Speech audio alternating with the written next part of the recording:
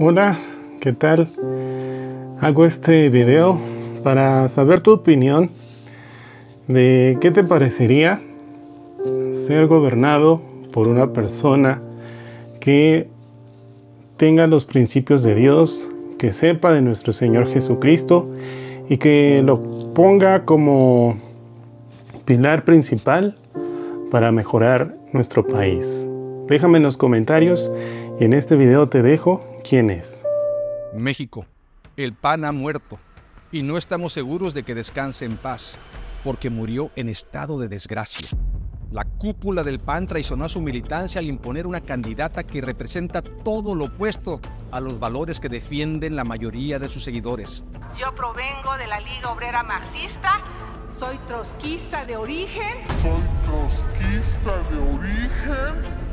Los parásitos del poder mataron al PAN con una escopeta modelo Xochitl calibre 666.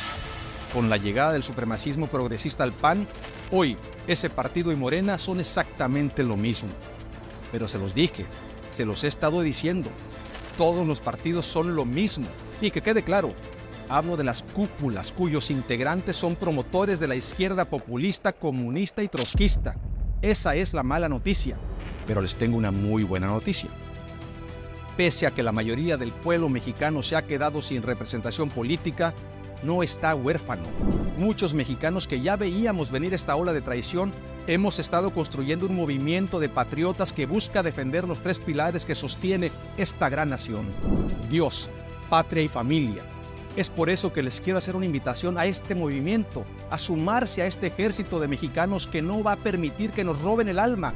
No, no, no lo vamos a permitir estén pendientes, porque muy pronto les haremos saber cómo incorporarse a este movimiento.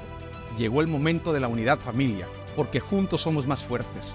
Las puertas del movimiento Viva México están abiertas. ¡Viva México! Dios los bendiga.